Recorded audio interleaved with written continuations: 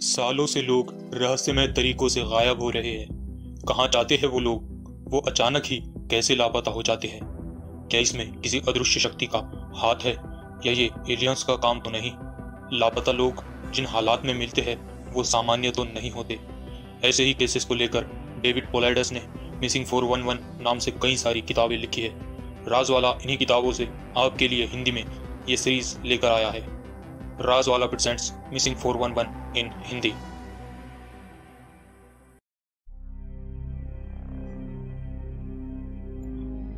North America के किसान। लापता लोगों का एक ऐसा ग्रुप है, जिसे इस किताब में शामिल करना ज़रूरी है। इस चैप्टर में ज़्यादातर लोग ऐसे हैं जो गायब हुए उस वक्त। वो अपने फार्म पर काम कर रहे थे। उन्हें अपने खेत इसी तरह मालूम थे, जैसे हमें अपने घर का सामने या पीछे का हिस्सा मालूम होता है। लेकिन फिर भी वो गायब हो गए। वो ज़मीन को वैसे ही जानते थे, जैसे उनके घर वाले जानते थे। वो ज़मीन के उतार चढ़ाव को ऐसे जानते थे, मानो उनका हाथ हो। किसान और उनकी फैमिलीज़ अपने खेत को अच्छी तरह जानते हैं। क्योंकि यह न सिर्फ़ उनके काम करने की जगह है, बल्कि उनका घर भी है।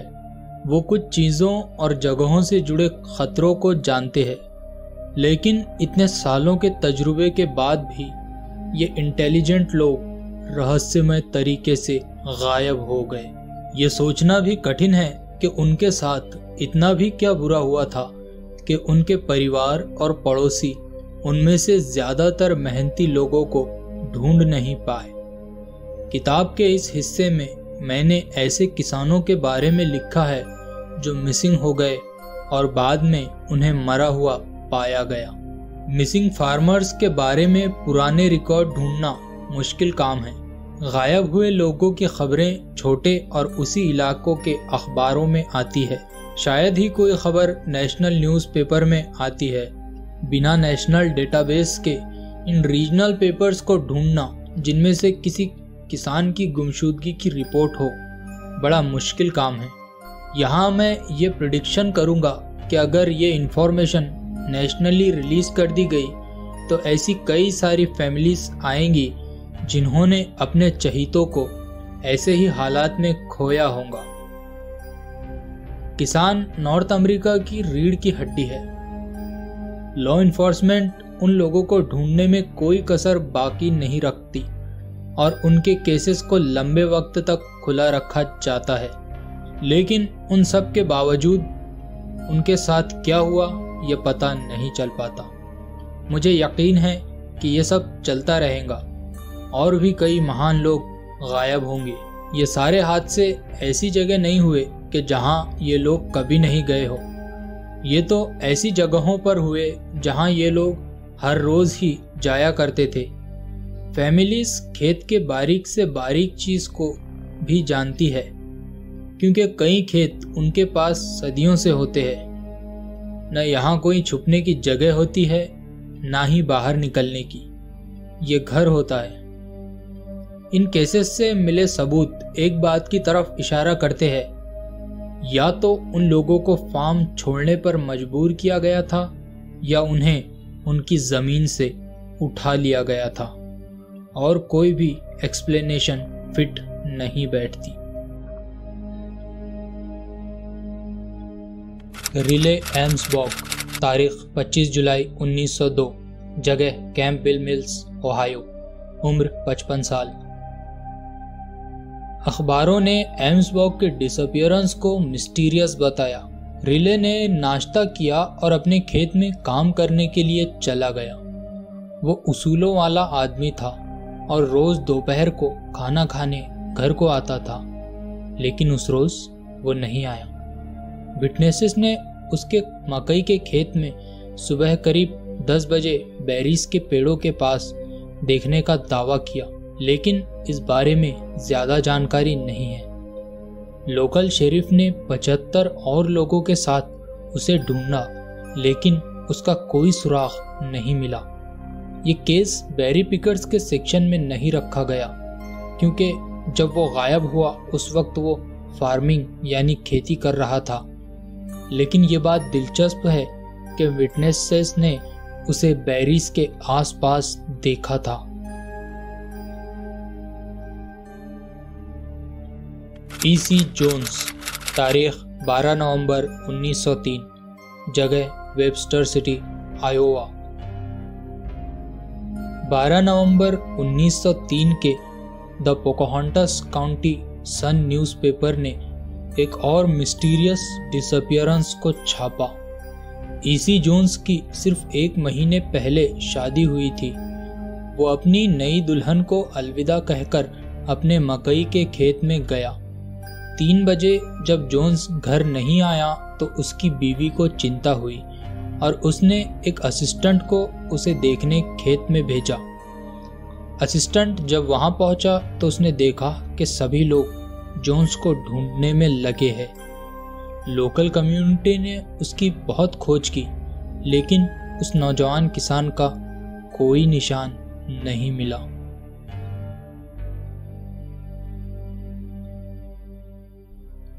एडवर्ड गिरके, तारीख 11 जून 1918 जगह टोमा, विस्कॉन्सिन। रविवार की सुबह छह बजे उठकर गिरके अपने हाल ही में खरीदे खेत पर गया, जो बियर क्रीक इलाके में था। वो लंच के लिए नहीं लौटा तो उसके परिवार को चिंता होने लगी। दोपहर में जब फैमिली खेत पर गई तो उन्हें वहाँ एडवर्ड ज़मीन पर पड़ा मिला। लेकिन उसकी गर्दन टूटी हुई थी और उसके मुँह में रेत भरी पड़ी थी। टोमा की पुलिस को बुलाया गया इस केस को देखने, लेकिन वो ये सब देखकर हैरान थे। ये केस फिर मॉनरोई काउंटी ऑफिशियल्स को दे दिया गया, जो स्पार्टा में है, और उन्होंने उसकी पोस्टमार्टम करवाई। डॉक्टर ने कहा कि उसकी मौत शायद बिजली गिरने से हुई है, लेकिन उसकी गर्दन कैसे टूटी, इस बारे में कभी पता नहीं चला। बर्निस प्राइस, तारीख 22 मार्च 1923 जगह ओहानी, कैलिफ़ोर्निया।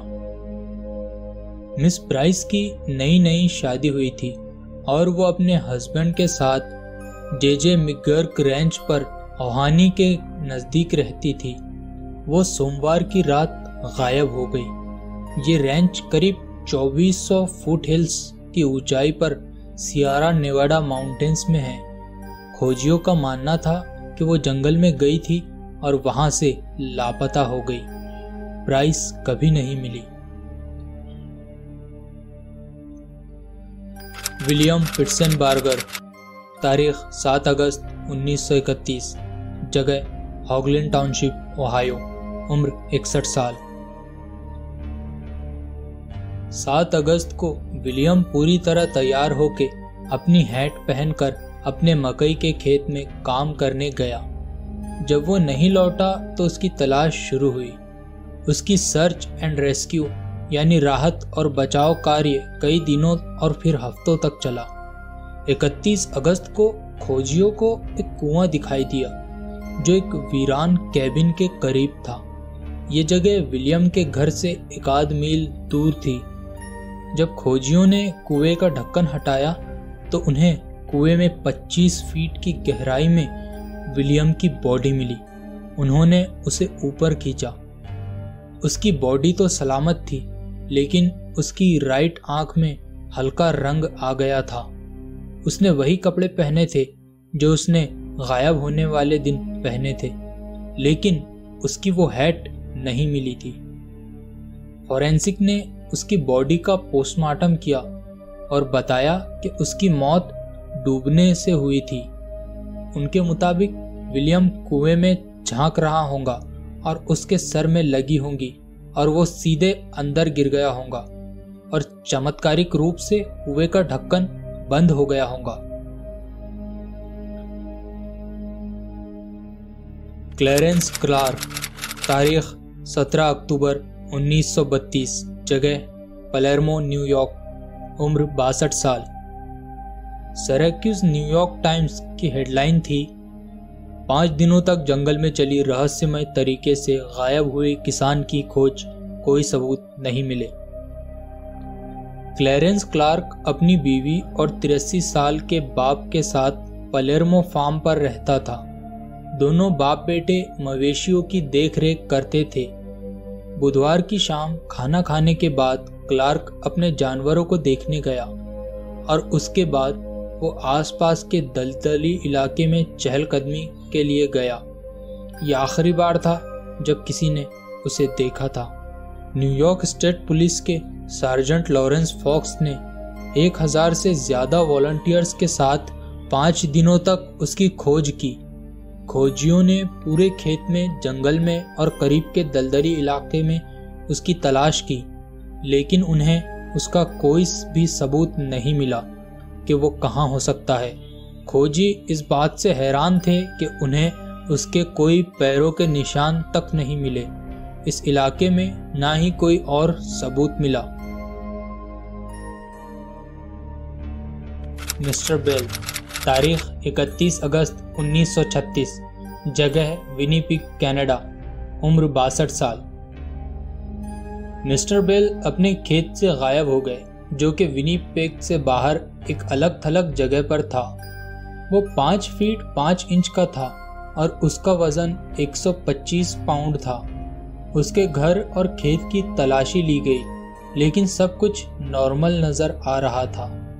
ऐसा लग रहा था, मानो उसकी प्रॉपर्टी में से कुछ भी हटाया न गया हो। कैनेडियन पुलिस द्वारा उसे बहुत बड़े पैमाने पर ढूँढने की मुहिम चली, लेकिन उन्हें मिस्टर बेल के बारे में कोई सुराग नहीं लगा। लिरॉय विलियम्स तारीख 16 मार्च उन्नीस सौ इक्यावन, जगह एक्वर्थ आयोवा उम्र चौसठ साल। एक्वर्थ से साढ़े तीन मील दूर लिरॉय अपने फार्म पर रहता था। वो अपने जानवरों को चारा दे रहा था। उस दिन जोरदार बर्फ़ की आंधी आई थी, जब वो गायब हुआ। जब वो वापस नहीं आया तो पुलिस को बुलाया गया। पुलिस ने ब्लड हाउंड कुत्ते लेकर आए और घंटों ढूँढने के बाद भी उसका कोई पता नहीं चला। शेरिफ जैक टेलर ने वॉलंटियर्स को खेत में आकर ढूँढने को कहा और उसे ढूँढने की मुहिम फिर शुरू हुई, लेकिन उसके बारे में कोई सुराग नहीं मिला। रेल्फ स्टेट्समैन तारीख 17 अगस्त उन्नीस सौ बावन, जगह लाग्रेंज, इंडियाना, उम्र 46 साल। राल्प एक मेहनती किसान और पिता था। वो अपनी बीवी और तेरह बच्चों के साथ रेंच पर रहता था। जिस दिन वो लापता हुआ, तब वो रेंच पर काम कर रहा था। वो बच्चों को बोलकर गया था कि वो गायों को हाँक कर आता है और आने के बाद उनके साथ खेलेगा। वो आखिरी बार था जब फैमिली ने राल्फ को देखा था। खेत और पूरे इलाके में की गई एक बड़ी सी खोज भी उसके बारे में कुछ पता लगाने में नाकाम रही।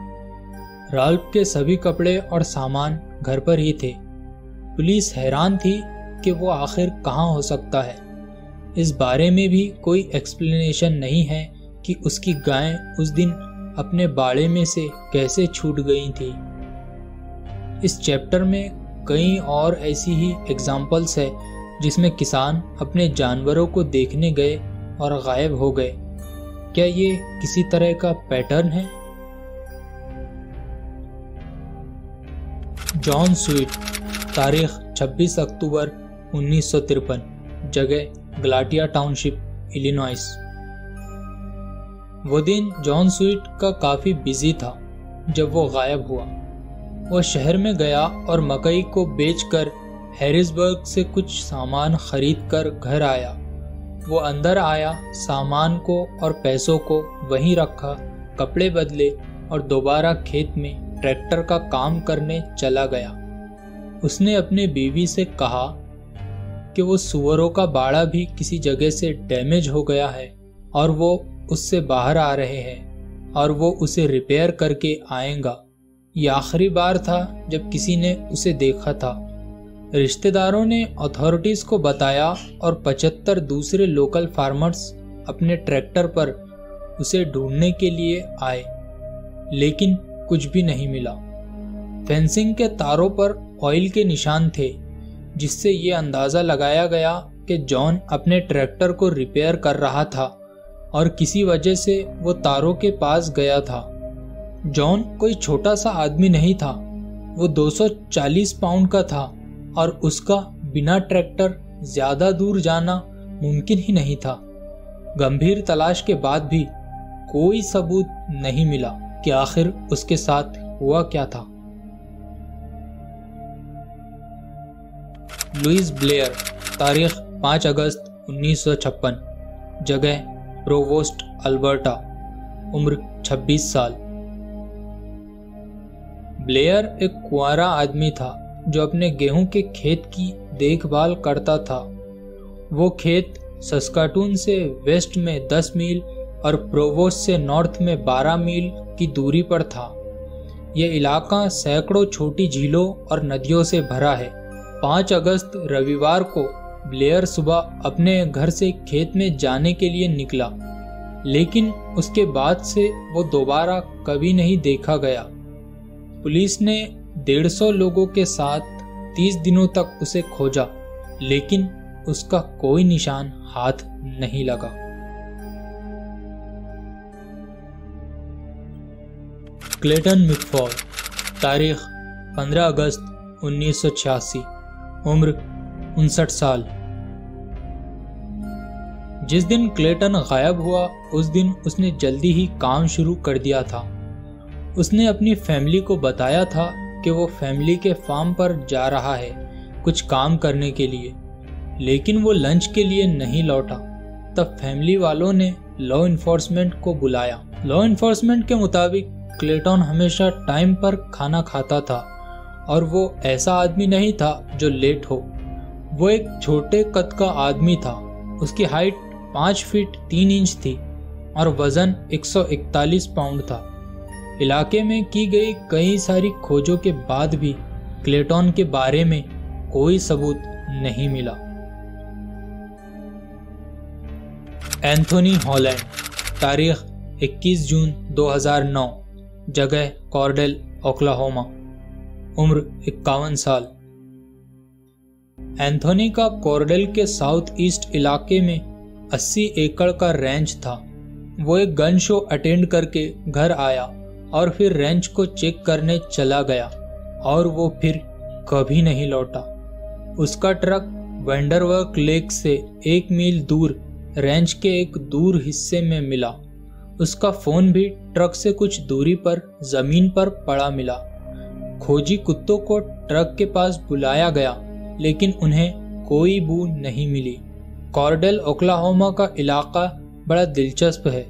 पाँच मील की दूरी में कम से कम 35 पानी के स्रोते हैं, जिनमें बॉगी क्रीक, कैलावारी क्रीक वाटरशेड और ओके नो नेम रिजर्वायर जैसी झीलें और डैम्स शामिल है। जहाँ वेस्ट में दलदली इलाका है, वहीं ईस्ट में ज़्यादातर खेती की ज़मीन है। जहाँ से एंथोनी लापता हुआ, वो जगह ऐसी थी जो इन दोनों चीज़ों, यानी दलदली इलाके और खेतों की मिली जुली जगह थी। किसी भी दिशा में कॉर्डेल जितना बड़ा शहर पंद्रह मील तक नहीं था। मैं जानता हूँ कि आप एंथोनी के गायब होने के पीछे चोरी को वजह नहीं मान सकते। क्योंकि उसकी चाबियाँ और उसका वॉलेट ट्रक में ही था। एंथोनी को काफ़ी बड़े इलाके तक ढूंढा गया, लेकिन उसके ऐसे गायब होने की गुत्थी कभी भी नहीं सुलझ पाई। तो दोस्तों, ये थी मिसिंग 411 से ली गई कहानियाँ नॉर्थ अमेरिका के उन किसानों की जो अपने घर से खेत के लिए निकले और वहाँ से कहीं गायब हो गए। उम्मीद करता हूँ आपको ये कहानियाँ पसंद आई होंगी। तो अगर आपको ये कहानियाँ पसंद आई है तो अभी इस वीडियो को लाइक कीजिए। और अभी तक आपने राजवाला चैनल को सब्सक्राइब नहीं किया है तो अभी सब्सक्राइब करिए। और हो सके तो इस वीडियो को शेयर करिए।